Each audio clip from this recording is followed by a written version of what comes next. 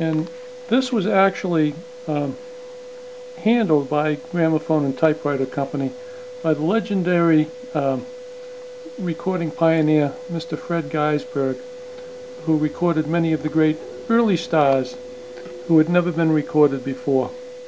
And this is from 1902 and uh, you're going to hear, if you listen very carefully, you'll be able to hear Fred Gaisberg uh, shouting a couple of instructions at the very beginning of the record and you'll also hear uh, Emma Calvé at the very end getting very giddy and uh, obviously happy over the fact that she's completed this recording successfully.